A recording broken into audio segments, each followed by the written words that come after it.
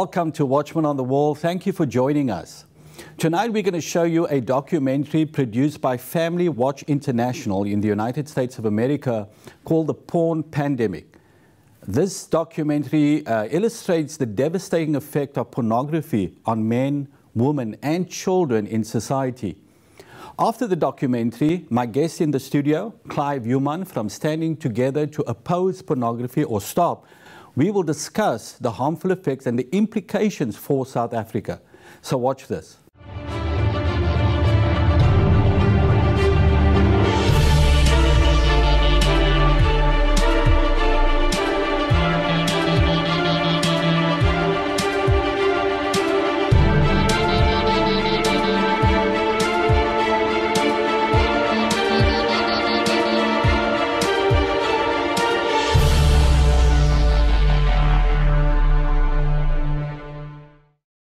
This film exposes the addictive nature of pornography, how pornography addiction is a root cause of family breakdown, and how it drives violence and sexual crimes against women and children. This film is not intended, however, to imply that the majority of pornography viewers will end up committing sexual crimes or that the individuals who appear in this film have committed such crimes, unless they specifically indicate so. If you or a family member struggle with a pornography addiction, please know there is hope and that many have found healing and recovery through therapy and family support. My first exposure to pornography was around age eight. I was uh, probably uh, eight or nine years old, and I stumbled upon some uh, pictures of pornography. It was more when we, after we were married, that he discovered it when we had it coming through our TV in a rapid, excessive, anytime, 24 7 hour rate. So, my first experience with pornography was at my cousin's house, and it was on this gaming device with internet connection. And I don't think his parents even knew that it had internet connection. And so, he was first exposed to pornography when he was seven or eight years old, he thinks. And a lot of times I'd hide him under my bed or, or in my dresser, that sort of thing. And I'd flip back to him. I felt naturally drawn to them. Go to the library and, and, and try to find books that were exciting uh, of sexual nature. Like while you're looking at it, I, I suppose it's like a, it's thrilling, like it's you know it's awesome while you're in it, but then afterwards it's just, I guess this feeling of like disgust and shame and um, like why did I just do that? You know, what was the point of that? And he did get in trouble even in kindergarten for having cut out like the underwear ads. He and his friend, and they had those in their desks in kindergarten. So, one of the fascinating things that's been happening over the last 10 years is because of technology, we've been able to see how pornography and sexual addiction affects the brain. Pornography is a drug which produces an addictive neurochemical trap. It is a pheromone. It changes the set point, the pleasure set point of the brain, and creates a new normal through the process of neuroplasticity or change in the way our brain perceives and values pleasure learning about the addiction has been what has really helped me to realize that it's not me. It's not between me and some other woman. That this is something that's wrong with his brain. It's not just a morality issue, right? That this is a brain issue, that these behaviors affect your brain and your ability to be able to function in your life. But learning about the changes in the brain and the steps that can be taken to actually reverse those changes, that damage, that really gave me hope. So, one transmitter is dopamine, and that's centered part of our pleasure and reward system of our part of our brain. And dopamine's released whenever there is a sexual experience and something that we, gives us a kind of a high in order for us to want to continue to seek out that same activity.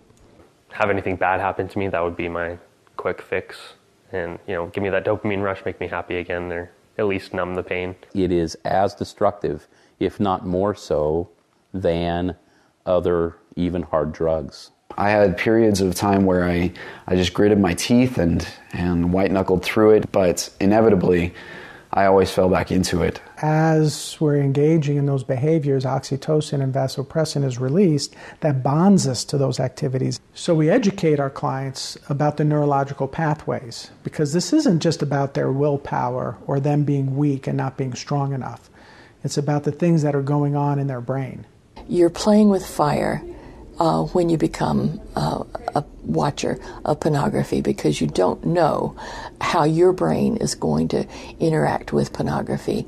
You know, these are good men they're, and women, good people. These are not people who are going out looking for that. They're people who are coming across it innocently. So, where they may have started off with some very basic pornographic images, it has a tendency to escalate, going to massage parlors, going to escorts, seeking prostitutes, looking to hook up with anonymous individuals online. Progression from nudity to hardcore sexual acts, bestiality, sadomasochism, child porn. What the brain is really searching for is something new novelty, change. Pornography capitalizes on that. It can extend to various things. Not everybody falls into all those categories, but each one of them falls into some category where it continues to escalate. Very rarely have I seen somebody who started with pornography and it just stayed basic pornography. So for me, I started out with just pictures, and that was it that did it for me. And then it got progressively worse. It got stories, videos, intense videos, long videos, um, and there didn't seem to be an end. I had come to realize that it's not just men looking at pictures. It's it's something that changes in the brain, and um, that was a real a page turner for me. That I realized, okay, this is something that needs professional help. Now I'm a marriage counselor. About 90% of the people I see with marriage issues have pornography issues as well. And I'm convinced that that is the central cause the isolation, the shame, the dishonesty, the lies. That's the central cause of marriage disharmony today. As I told her, I remember uh, just just shaking. I, I broke down into tears. I was so ashamed of myself. Do I divorce him? Do I keep married? We have a child coming. You know, we're butting heads because I'm trying to say what you did is terrible, crazy, terrible, and I'm angry and I'm mad and I'm I'm like a cat in a cage. I'm just like, you know, I just want to, you know, tear him to pieces. And, and he's just trying to protect himself. You know, he's getting found out and he has other deeper, uglier things that he's hiding still. And all of this time, all of this money, all of this effort that has been put towards a sexual addiction, you could be something incredible when he would do that, I would know what was going on, but he would lie about it continually. And then you start to not trust yourself. And this is the destructive power of pornography, that it disrupts our primary relationships. Without pornography, if an individual is distressed, their instinct sends them to their loving relationships, to a spouse or to a friend. Uh, but with pornography addiction present, uh, they go internal they don't reach out, they reach in to themselves, to their own sexual behavior. His story was more of a telling me, don't worry about it, every guy does it, every guy needs it, uh, it's normal, it's healthy. I spent so much time trying to figure out what was truth and what was a lie, and I would look back at pictures and they would just make me sick because I thought, well, you were lying. And not only did I have to go get tested, he went and got tested when I was on the table, you know, gynecologist table, and we were going over what I could possibly have, you know, chlamydia, syphilis, herpes, and then she started talking about we're going to test you for HIV, we're going to test you for AIDS. I don't think there is a time in my life when I've ever felt so defeated as a woman and a wife and a lover and a friend and a human being so the problem is these men are viewing these images of women and have fantasies of these women that don't have any needs and are just there to fulfill their needs. And so when the real women in their lives have needs, they become angry and resentful about it. And Nikolaas Tinbergen, who won the Nobel Prize in 1973, described a supernormal stimulus. He first started with birds. He painted bird eggs bigger and prettier than normal bird eggs and found that the birds would leave their own eggs and roost the plaster eggs because they were bigger and prettier. It was a, a higher, supranormal, over what they encountered in nature. Then he painted female butterflies' wings bigger and brighter than normal female butterflies, and these male butterflies actually mated or tried to with the paper female butterflies and ignored the real female butterflies. Nobody can compete with altered, fake, over enhanced, and absolutely extreme pornography. You have this, this virtual attachment to, uh, to these artificial humans. It's not reality. And I think that's, that's the problem is that the men get sucked into that and then they expect it. And then the women feel like that's what they need to be. And I don't want this dull, normal. I want exciting. I want new. I want enhanced. It, dysfunction, erectile dysfunction result. Pornography is leading to sexual dysfunction. Psychology Today online had an article uh, two years ago about something they called porn induced sexual dysfunction. And what they said is it's a problem for guys in their 20s. They've been looking at pornography for 10 years by that time, masturbating to it, and that's imprinted on the brain. That's where they get their sexual excitement. We're finding men younger and younger are having difficulties with erectile dysfunction because what they have found arousing in the pornography, they're not able to achieve in their experiences with women. I went through the days, but I wasn't living. I, you know, I looked at pornography every day in order to self-medicate. I would cut myself because I would so much rather feel physical pain than emotional pain. And my husband got to the point where he was so despondent. He thought many, many times about taking his own life. I hated myself, you know, hated God, hated everybody. You know, why me? Why, as a child, for crying out loud? Pornography images are resulting in a massive shift in the way our children are developing their sexual template. The premature sexualization of our youth is, is at an all time high, and it's only going to continue to get higher based on the trends that we're seeing. You know, you become sexualized as a six, seven, eight year old kid joking about it, kind of following the lead of what this pornography is taking you. Psychologists say that uh, you know it's not like uh, some casual observation that you see that flits on the mind and goes out. It's permanently imprinted on the mind, and those children, as much as they would like to, cannot escape those memories and escape those images. I still remember those images of what I saw as an eight-year-old child. Uh, I can't remember what I did last week, but I, these things I they, they just stuck with me. But when they go to the internet with curiosity, they're not going to get healthy, good information about sexuality. What they're going to get is a vast array of pornography uh, that doesn't educate them well about what sex really is, about what relationships really are. They get the opposite. But children aren't in a capacity to make informed long term decisions about that. Again, we're learning much more about the brain. Children's brains are very uniquely unadapted to that. Remember, their frontal, frontal, lobes aren't formed, and they're going to be able to process that and, and understand all the nuances and implications of the behavior later. It's ridiculous. Now, if you can think of anything deviant and dark, somebody else already has and has created a forum online to post it, to publish it, to promote it, to to expose it. So I'm aware that there are these comprehensive sexuality education programs that are emerging out there that are teaching children to explore, engage in sexual behaviors and activities that are pleasurable and whatever they want to do. That kind of early exposure for children is damaging to their development, to their, both their social and sexual development, that inhibits their ability to have healthy sexual, emotional relationships later on in life. When sexual freedom is the priority. When people are encouraged to begin sexual activity at an early age, to explore and to experiment with different partners, then sexual health suffers. It is a normal, natural response for your body to um, respond to another naked body that way. But it's just not the right time for someone so young. There's no stop valve. It's experience all the sex you want. If it were a cake, it would be eating a chocolate cake at every meal. Infection, cancer, infertility, unwanted pregnancy. It is primarily girls and women who suffer the consequences of early sexual activity and multiple partners. That's not sexist.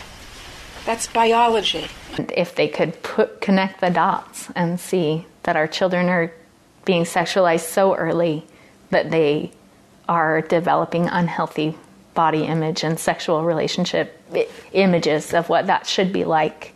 In an attempt to provide it for adults, has fallen into the hands of children and uh, adolescents in a way that is seriously destructive to their own emotional and sexual development.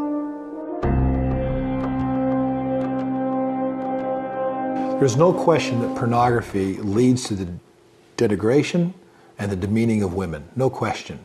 Because the ideation is such that women are subservient. Their job is to only satisfy men either as a slave or as a sexual toy or as a prostitute. A lot of people today, particularly in the United States, think of pornography as nothing more than skin flicks. And they dismiss it as people being too uptight, prudish, and so forth. If they say anything against pornography, they have absolutely no comprehension of the degrading aspect of so much of today's pornography. 14 year old boy goes on his phone, text, sexts different girls. His language was so obscene, so vulgar, calling them names that are inappropriate, where did he get the ideation that this is all they are good for? It was pornography. And the objectification of women today, I think, is one of the major problems we face in cultures around the world. All these people that I was looking at, I was making them seem, you know, like sexual objects rather than people. It's surprising that many of those who are seeking to improve the status of women are passive or accepting of pornography, which is so demeaning to women. Shelley Lubben, who now works uh, on the good side and, and, and helps uh, fight pornography, former pornography actress, said many actresses admit, actresses admit they've experienced sexual abuse, physical abuse, etc. She says the same horrible violations we experience then we relive in front of the camera and we hate every minute of it. So, also, the Bridge study showed of the top 250 porn titles, 90% of them depict violence against women, as defined by slapping, hitting, hair pulling, gagging, choking, and name calling. The more violence and abuse that is depicted in pornography um, has a greater sell value on the internet. Pornographers know this and they push this. Do the men that watch that um, just decide, hey, um, I can watch this, but it's all fantasy. It's not real. It is real. The women are actually experiencing what's on the screen. So you need to understand that this is someone's mother, this is someone's daughter, this is someone's sister. And you wouldn't want your mother or daughter or sister to be viewed in that way.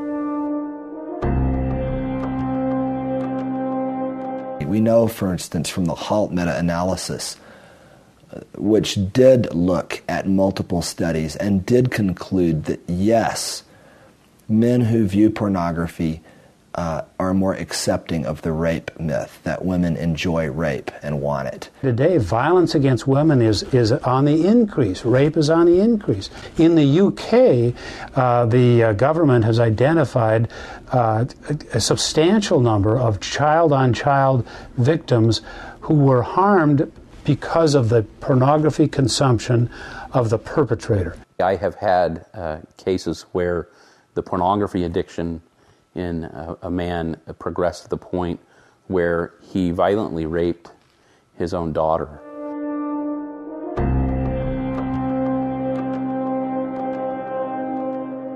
Most of the individuals that I work with, their desire and appetite for, for seeking somebody like a prostitute can had its origins in their exposure to pornography. Victims of prostitution and violence and, and trafficking will tell you that the industry has gotten so much more uh, difficult because the men are demanding much more violence than they ever did before. They seem out of control. They really don't want to be doing the things they're doing. They love their families and they want to maintain a level of love and connectedness there, but their compulsion and their addiction uh, through pornography drives them into these promiscuous relationships, to prostitution, and it's devastating to them. The pornography is fueled by the women who are trafficked. Uh, they're the ones who are used to make the movies that are so popular that you know the videos are sold around the world. More than 11,000 a year are uh, developed in comparison to 400 that uh, movies that are produced in Hollywood. Ultimately, I realized he'd been with these women from another country in a, you know a sex club. You just had sex with women, like sex trafficked women, prostitutes. And he looked at me uh, almost like he didn't know. Almost like it didn't click in his head until I said that. And he thought, oh. Women are very vulnerable in undeveloped countries where uh, the traffickers, the criminals come in and they say to the women, We can make you a movie star. And of course, they start by uh, saying, You have to do this to get a foot in the door. Uh, they end up making the terrible porn movies and uh, becoming prostitutes in a a brothel somewhere, in a bar somewhere. Detailed stories that just are so painful when I think about the woman on the other side of what he had done. And, you know, now when we talk about it, I see the pain in his eyes. And any country in the world that legalizes prostitution has more sex trafficking. It creates a permissive attitude and an attitude of further disrespect for women. Lauren Bethel said, sexual trafficking is the exploitation of vulnerability. In other words, uh, women who, if they could choose to do something else, they would. So pornography creates the demand for prostitution and trafficking, and that's so important to understand. I think sex trafficking isn't just a foreign problem, something that happens in another country, somewhere else. It was going on in my neighborhood down the street from me. I can point them out. I know what to look for. He was working with a pimp who had been imprisoned, and he said, Tell me how you find the girls that you use for your movies. And the pimp said, Oh, it's easy. I just go to the malls. And he said, Most teenage girls and preteen girls will go with their friends. If I see a girl who's alone, I go up to her and I say, Hey, you've got beautiful eyes. He said, If she looks at me and says, Thank you, I let her go on because I know that she's not vulnerable. But if she looks down at her shoes and says, No, I don't have pretty eyes, he says, I know I've got her. It's impossible to be searching out adult pornography on the internet without finding child pornography. And people will say, Oh, no, I never look at child pornography. And I say, Oh, really? You mean you've never seen a woman who's 17 and a half years of age? What about a 16 year old, a 14 year old? I was speaking in Arizona a few years ago, and uh, a prosecutor was there who prosecuted obscenity and sex crimes there in Arizona. And he's, he called adult pornography the gateway drug for child porn. And they're arresting many married men, grandparents, many high school kids because they don't distinguish between adult and child pornography after a time. So they're trying to make actresses look either pubescent or even prepubescent to sculpt those brain tastes younger and younger. That accounts for the worldwide uh, boom in child pornography, I believe this consumption of adult pornography on a steady basis, where the brain looks and needs, looks for and needs harder material. One of my responsibilities was to work at a children's home where the children were court adjudicated away from their parents because the parents had used them for prostitution purposes and child pornography purposes. So these parents had actually taken pictures of their children and put them on the internet okay, for the sale. They had also sold their children at different parties and things for sexual favors. Um, it wasn't just one or two kids. We were dealing with 50, 60, 70, 100 different children who would have this take place in their lives. In more developed countries, the runaways, the castaways, the throwaway children are the ones who are so vulnerable because the criminal networks know where they are, they know how to find them, and they prey on them. Uh, the experts say that a child who runs away will probably be in the hands of a criminal network within 48 hours. Uh, individuals that uh, commit crimes against children, for example, sexual crimes against children, uh, report to a high uh, percentage that their issues began with pornography, that they find themselves needing more stimulation from things that they would never have originally uh, described as being sexually arousing to them. Every country should have laws prohibiting the distribution of adult and child pornography. Now, many people argue, well, it should be just child pornography. Adult pornography, you should do what you want. People should have that right. But when we know that looking at adult pornography leads many to child pornography, we have to go back to the source of the crime, and it's, it's adult pornography. When I walk into a room, I don't think who in here struggles with pornography. Now I think who in here hasn't encountered pornography in their lifetime. It is going to continue and it's going to continue to take lives and drain them of every ounce of happiness. We need to do something about it.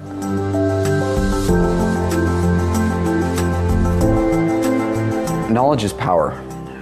I, I, firmly believe that, particularly with this, this addiction. The more people learn about the addiction, about the chemistry that happens in the brain during the addiction process, and what an addict goes through, the more they will be able to be a support. I think it's so important for those that are struggling to always remember that there's not anything that's happened to you that you can't heal from. I finally see that there's a light at the end of the tunnel, and I know that there is for everyone. There's a great um, Elisabeth Kübler-Ross quote about beautiful people. And she says that beautiful people just don't just happen, that the most beautiful people we have known have known despair and loss and misery and suffering. No one said it would be easy, but they said it'd be worth it. And I can testify in my life that I've done you know intense amounts of work, but where I am now, I, I, there's no place I'd rather be. I'm, it's time for us to take very seriously what's happening in our cyber world, in our cyber universe. Just wake up to the fact that our children, our young adults, and our adults are all in this new, uh, brave new world, if you will. Things are not what they used to be even 10 years ago. Pornography is a universal solvent that dissolves emotion, family, marriage, and government. Indeed, it destroys our humanity. The war for safe families and decent communities is a winnable war. You are not too late to the battle. All hands on deck. The battle is on. We need you. We need your time, your energy, your efforts, your interest. Please join us in this fight for sanity and serenity, for peace and prosperity, for today and for all our tomorrows. I am on a mission now to spread to all the world, to all the women, to anyone that will hear me. If we can all come together and if we can all rally around and not be afraid to talk about it, and not be afraid to get educated, and not be afraid to work together and fight for the common good, then we will all start healing and our society will become better, it will become stronger.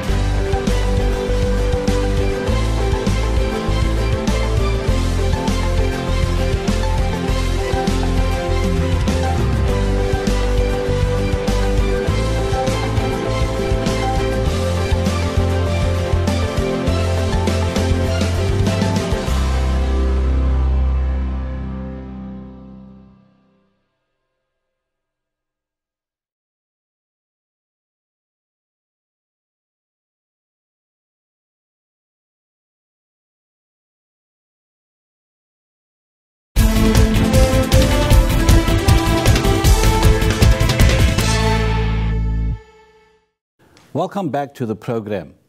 Clive, having just watched that devastating documentary um, and the harm and effects on, on especially young people, um, what are the implications, do you think, for South Africa? Errol, you know, we've been discussing this for years, but this documentary, I feel, really cuts to the chase. It's so um, apt not only for America but for South Africa as well. You know, me, I've been involved with anti pornography for 18 years. I've counseled thousands of men and couples in, you know, with this problem in their lives. And I can just see this escalating. And this is so truthful, it's so to the point and it just shows and demonstrates some of the effects that this is sorry that this is um, creating in marriages families communities societies and so we have to take this seriously it really is a major problem in society today and it is a growing epidemic in South Africa today in the church and um, in the rest of the country. You say that it's, it's a growing problem and we have to take it seriously. Do you think because you're doing this work at, at STOP. Uh, do you think the church, that government, that civil society is taking thing, uh, pornography as seriously as it should? Um, let me start in the church because that's the area that I do most of my work in. Um, it's it's epidemic in the church today. It really is, and there are um, newer facts, figures, statistics coming out daily about numbers of men that, uh, and women, you know, it's a growing phenomenon amongst women as well. Um, but it's a growing thing in the church today. It's a growing problem. And, you know, it is just robbing the church of its of its leaders, of its men, of its, you know, it's just stealing from the church. It's stealing from God, and we need to address this issue, and it needs to be discussed more from the pulpit. Um, there are there are churches which are addressing the issue, but there are far too many that don't know how to address the issue and are not addressing it. And there are so many victims and, and people um, drawn into the addiction of pornography that it's very bad. Yeah, obviously, if, if many in the church, Christian men, are addicted to pornography and are struggling with this issue, the marriage uh, becomes a factor, the family, the children, all of those things are affected when men uh, are obviously compromised in this area. Now, uh, interestingly, George Barna, you know, the George Barna Institute in the US, they, they put out a study recently that most Christian men in the US are viewing pornography, online pornography. You know, I think, Errol, we are not far behind the US. We don't have the finances or, or the people, you know, to do accurate statistics in this country. But I just know from my daily dealings with phone calls I get, emails I get, with people who are approaching us uh, for help, I can just see exponential growth year after year, where sometimes, you know, my calls double each year virtually, and that's the amount of people. So I do believe that, you know, we in South Africa, the figures are very similar to America. And uh, it's something that needs to be addressed seriously because they are victims, uh, not only for, you know, in, in marriages, but the children. I'm seeing more and more younger kids mm. um, who are being um, harmed in their developmental stages of life you know, where they are training their brains to do things which are so unnatural. Now, even in this documentary, we see uh, most of the young men that participated in this uh, um, film um, access pornography, hardcore pornography on online. So the easiest way to get a pornography is through the internet. Young children, everybody's got a cell phone or you know, a smartphone today. Mm. And children as young as eight, you were telling me, can access hardcore pornography on these devices. Yes, you know, Errol, a few years ago, the and it's still used quite uh, broadly. You know, they say the average age of first internet uh, pornography exposure for children is 12 years of age. But in recent uh, statistics, it looks as if that age has dropped to eight years old. So that is the average age that children are having access to all kinds of absolutely gruesome, gory, to put it bluntly, pornography. You know, a lot of the time it's out of, uh, you know, they're inquisitive. Kids are naturally inquisitive about sex. But we as parents, we as, as adults, we have to protect our children. We have to put up the checks and balances and the blocks on cell phones. You know, uh, most of the cell phone companies today, you can block adult content uh, just by contacting them or doing it online yourself. Um, Parents don't know these things. We need to put checks and balances on our computers. You can put uh, K9 Web Protection, which is a free adult content blocker on your on your PCs and and uh, mobile phones, etc. We need to do these things. And it's like you say, uh, it's not happening because people don't take this seriously enough. The threat of pornography, the widespread uh, um, easy accessibility to pornography that children, as you say, as young as eight years old, are getting to it. Young men getting addicted to pornography, and of course, their relationships with women is warped now. They, you know, they can't have normal relationships, and of course, men, adult men, more, more and more men getting addicted to pornography, and the marriage is suffering as a result of that. What is your um, message then, or your appeal uh, to, firstly, the church? And then secondly to our government to address this issue because you're at the cold face of what is happening. You're counseling people, you, you, you're hearing from young people, um, even adults, about the struggles they're having for, with pornography. So, what would you say to the pastors out there? The pastors must address the situation. They must speak about it from the pulpits. Um, you know, if they don't, if they're not sure how to deal with these issues, uh, you know, they can contact us uh, through uh, Stop. You know, through our website. We'll help them where we can. Um, they must absolutely not, uh, you know, just say, "We'll pray about it and it'll go away."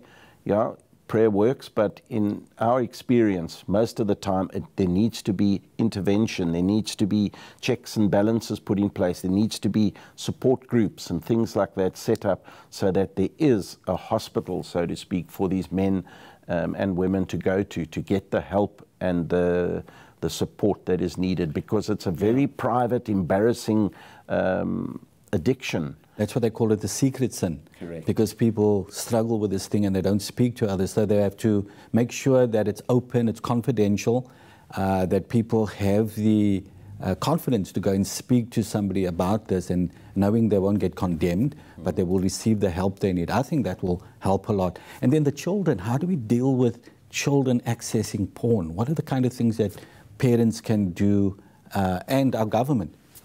You know, for, well, from the government's point of view, um, I'm skeptical there, you know, especially with this uh, StarSat top TV bid to put pornography on, on the airwaves, etc. You know, that is just absolutely crazy, in my opinion.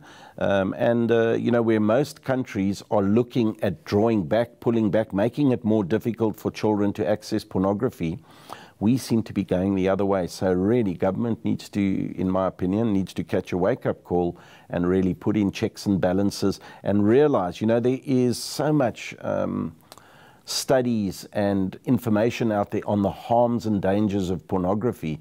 No one has yet been able to convince me of any um, positive use or any positive thing that, that pornography can do for society. No one has, has mm. shown us one thing, yet the, the abuse and the, the, the trafficking of women and children into the sex industry and all these things that go around it, it's devastating. We need to, as a united front, as Christians, we need to get together and we need to tell government and tell all the players involved how we feel about pornography so that the scourge can be stopped in its tracks. The mm. only way we're going to take control of it. Mm. Clive, I couldn't agree with you more. Uh, we need a united voice for people to take this seriously because this threat is spreading in South Africa. So I want to thank you for the work you do. It is vital work, uh, uh, helping people, getting the message out there. It's so important. We commend you and we thank you for the work you do at STOP. God bless you. Thank you.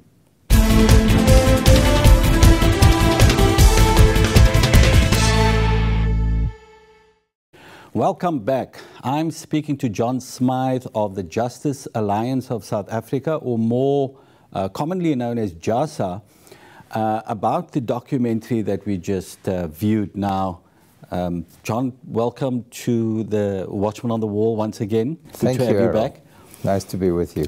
We've, we've just viewed this documentary, and uh, the evidence is mounting. It's overwhelming that pornography is undeniably harmful to men, to children, yep. to women, and to society in general. Um, isn't it incredible that Top TV, now known as StarSat, Top TV StarSat, is still pushing ahead to broadcast hardcore pornography on South African television? Yeah, I, I, quite agree with you. It's extraordinary, particularly since they're in business rescue. You know, mm. they're, they, they really got no money at all you'd think they would give this one up, and uh, just as a matter of common sense. Uh, but uh, you know, following our victory, they have uh, put in a notice of appeal immediately, and that, of course, alas, in, entitled them to continue broadcasting, and that's why they did it. They had their notice of appeal in within 24 hours. Uh, whether they uh, lawfully broadcast that same evening as the judgment came out, I'm not sure. But that's why they did it, because the appeal, the notice of intention to appeal, suspends the uh, judgment uh, until the appeal is heard or until leave to appeal is granted. Yeah, so so they can continue uh, broadcasting pornography on television. Yes, and obviously they are they, doing it. Yeah, and they're making money out of that, and and and they don't want that to stop because they're going to lose revenue. But getting back to that victory, uh, firstly, I want to congratulate you, uh, the Justice Alliance of South Africa, yourselves, Cause for Justice, yes. and Doctors for Life, who, yes. who went on behalf of all decent people in South Africa and for the dignity and uh, of women and children. You fought this case uh, at the Western Cape High Court and you won. You won this victory. But I, our viewers need to understand, you know, the implications of the victory. What actually happened? What did the judge rule? What does it mean? And what happens next? Right. Well, um, the there were five days, Errol, of, le of legal argument. There were no witnesses called in this case. It's all done on paper, on affidavit. But the lawyers Four of them, you see, uh, three for the applicants, no, five of them, three for the applicants, the three applicants you mentioned, and uh, one each for uh, uh StarSat. In fact, they're called ODM now, just to complicate it even further, but uh, they're the people putting out the porn, and one for ICASA, of course. So there were five advocates, and uh, the judge uh, initially heard the case for four days, and then he was still troubled by it, and he called counsel back for a fifth day. And that really was because the law is very technical and very obscure. And I'm sorry to have to say this, but legislation was rush, rushed through in 1996, around that sort of era when, uh, when the new South Africa came into being. And uh, there are problems with it. And uh, so the judge had to untangle this mass of legislation. But the point is that um, uh, he has said quite clearly uh, that there are grounds uh, for this to go back to ICASA and look at it again, look at the whole thing again in the light of the fact that they misunderstood the law. I just, just again, for our viewers' sake, uh, just to take them back to what happened in April 2013, we and a number of other Christian organizations went to ICASA. Now, ICASA is the Independent Communications Authority of South Africa that regulates all broadcasting in South Africa. Right. And so um, Top TV Starsat applied for a license to broadcast porn in a previous ruling, ICASA turned that down in 2012. They refused it on the grounds that it's harmful to women. In 2013, uh, Top TV StarSat went back to ICASA, made the same application for a license to broadcast three hardcore pornographic uh, channels on South African television. This time, ICASA did a about turn and granted them the license. The thing that what happened at that hearing at ICASA in Johannesburg in April 2013 was that organizations like Family Policy Institute and others that made uh, presentations were not properly prepared.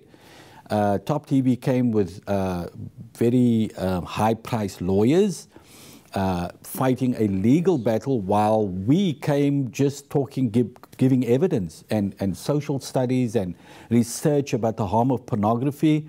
And of course, because they had the lawyers, they won the case. And so you, Justice Alliance of South Africa, Doctors for Life, and Cause for Justice then challenged ICASA's uh, granting of a license exactly. to Top TV StarSat uh, and, and, and that law of general application that they said wasn't there. Yes. Um, and you have won. So we'll take it from there. Yes. Let me just put it in, in, in, a nutshell. The real issue was this, and the judge explained this in his judgment. The real issue was were ICASA under obligation to look at the content of the programs, the content, and decide is this something which, which, which should go out into, the, uh, uh, into a home, the small living room in a home where the television set is so intrusive. Were they, uh, allowed to do that? Were they entitled to do that? Were they under an obligation to do it? Or were, as your high priced lawyers for, for StarSat uh, claimed, is, was it just a rubber stamping exercise? And ICASA held that it was a rubber stamping exercise. We, we, we, don't have to look at it. They did make some observations, but they said we got it wrong first time because we thought we could consider all these things. Now we've been persuaded that we can't. Mm. But the judge said that was wrong. They should have looked into the whole thing. So maybe when they look it, into it again, they'll go back to where they were first time. But I read somewhere that uh, um, um, Top TV StarSat's description of the hardcore pornographic um, content that they're putting on television was, you know, just romantic, people exactly. kissing. It was, it was quite appalling. I, I mean, our counsel uh, brought this out very clearly. He, he, he summarized it in this way. He said uh, the, the way that StarSat presented it was uh, couples in stable relationships gazing lovingly into each other's eyes. And then, the, then we, we showed the judge the titles of the uh, programs going out on the channels. And they, I mean, I wouldn't repeat them on the air. I didn't understand some of the words. It was the worst sort of promiscuous, hardcore pornography. And, and uh, so, you know, that's no doubt one of the reasons, though it wasn't the particular reason he seized on in his judgment, but I'm sure it's one of the reasons why he said, CASA, uh, CASA, I've got to look at this. Otherwise, Errol, it would be a nonsense, you see. It would mean that Parliament say, if you make a movie to show in the cinema, it's got to be classified. It's got to go through all the stages and come out with a classification. And of course, the Film and Publication Board can refuse a certificate altogether. Uh, but if what StarSat was saying was correct, it would mean Parliament says, oh, if it's for broadcasting, you can put anything on it, and, and ICASA just rubber stamps it. It's a nonsense. It just doesn't comply with common sense. And, and this is a hundred times worse because it's going into people's living rooms. Television. Absolutely. Children, it's intrusive. Children have television sets in their, in their, in their bedrooms. Um, this is incredible. So, we, we won the appeal. The, the, the review, as the review. it's called. Okay. And uh, now they have a, a um, StarSat, ODM, whatever you call them, Top TV, have appealed. At the moment, and this is very interesting, ICASA have not appealed. You see, that we've got two respondents, and the order is about is against both of them. Well, now they've got, uh, I think, they've got one more uh, day, uh, certainly long before the end of the month, they will have to make up their decision. They will have to make up their mind whether they're going to appeal. Mm. Um, I think the deadline we, we, we will know is, is, is November the 20th. So if Top TV StarSat if they lose this appeal, it means that we have to go through the whole process again. It has to go back to ICASA, unless they drop it. But, uh, uh, Errol, you know, I, I, think we need to pray very much that, that, uh, uh that, first of all, they won't be granted leave to appeal. You see, the judges dealt with this whole issue of whether the order should be suspended and they should be allowed to go on showing the channels in his judgment. So I think there's a very good chance that he will say, No, I've already looked at this and I don't think you should have leave to appeal. And particularly if ICASA are not appealing. And uh, therefore, if we don't hear anything from ICASA and they keep out of it, I think it's much more likely that leave to appeal will be refused. And the hearing date for that is December the 5th. Okay. So, what happens if, if the judge does not grant, uh, grant them leave to appeal? Just explain in layman's. Well, they, they, yes, they have, they have two options. Either they can petition the Supreme Court of Appeal, which means they have to, uh, they bypass the judge's refusal. They, they, they say the judge has refused us, uh, but we still want leave to appeal. And they ask the judges in the Supreme Court of Appeal, please give us leave to appeal. Uh, but of course, if, if, if, if the judge gives a, another reasoned judgment as to why he thinks they shouldn't have leave and why they should go back to ICASA, they're unlikely to do that, I think. And the cost implications of this are enormous. Uh, StarSat all, and ICASA together are already facing a bill of costs, their own costs, plus our costs, three applicants, one and our costs will be one and a half million. That's a thumbs up figure. Mm. So th- th- there's huge money involved. Now, the other option, if they refuse leave to appeal, uh, they will uh, give up the idea of appealing this judgment and go back to ICASA and fight it before ICASA in the same way when you were involved last time. Which means uh, Family Policy Institute and other organizations is going to have to go back yes. to ICASA, make our case again, this time taking our lawyers. So, John, tell, tell us what's happening on the 5th, uh, why that date and day is important, and you can speak directly to the Christians out there, make the appeal, because I think uh, we need to pray. Yes, ab- absolutely. Well, the hearing on, on, the 5th, before the same judge, Judge Bozalek, with all the counsel there, will be relatively short. I think it's fixed for 11.30 on Friday the 5th and we would expect it to be just an hour or so, although, of course, the history of this case suggests it might be otherwise. But uh, he will simply hear arguments from, uh, from, from all sides, from the three applicants and uh, from StarSat, and ICASA if they become involved, but they may not be there and then he will make up his mind probably immediately. He might take time to, to, to decide that. Mm. But that will be a short hearing, and uh, I think it, it's unlikely to, to, uh, to be something which uh, he doesn't decide on immediately because he's really anticipated these matters in his judgment. Mm. And I'm very optimistic that he will refuse leave to appeal, particularly if ICASA don't join in. But I think we want to pray about that, you know, and I would ask the Christian public really to get praying on December the 5th that the judge will be given wisdom to say no.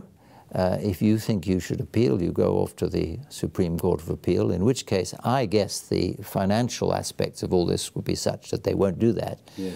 Or why don't you go back to ICASA? What's wrong going, uh, with going back to ICASA? I can hear the judge saying that. That's right. Uh, and, but then, of course, we've got a, a, big battle on, on our hands. Unless the whole thing becomes too much financially and they give up. Do you know, your, your viewers would be interested to know this, that they have only 400 subscribers to, the, to these channels. I know that, yes. Uh, I, I, was uh, debating this on, on the radio at the weekend, on Sunday actually, with, with somebody from ODM uh, on digital media who are StarSat's of people. And uh, he said, oh, well, that's, that's just because we're not uh, pushing it much at the moment. But Jeremy Maggs, who was the interviewer, was really very derisive about it. You know, why, why, are you making all this fuss if only 400 people want it? Why not give up? oh, yeah, and they try to make people yeah. believe there's this huge market for yeah, pornography uh, on television, and, and it's all deception. So, John, we want to thank you once again for, um, for fighting this case, fighting on behalf of women and children and the vulnerable members of society. Uh, JASA is doing a great job. Uh, thanks to uh, Doctors for Life, Cause for Justice as well. Continue the fight. And uh, I sent out an, an alert while, before you guys went to court. Um, I believe millions of Christians prayed and we prevailed. Yes. Uh, yes. and so we're asking you to do the same. On the 5th, Friday, the 5th of December, JASA, uh, Doctors for Life, and Cause for Justice will be going back to the High Court uh, to uh, oppose this appeal by ODM, Top TV, StarSat, and we need the, the judge to, to refuse them leave for appeal. So pray into that, that God gives the judge wisdom, that God will give wisdom and strength to the Christian attorneys fighting this case. And uh, John, thank you. God bless you. And we, we wish you well. Joy to be on your program.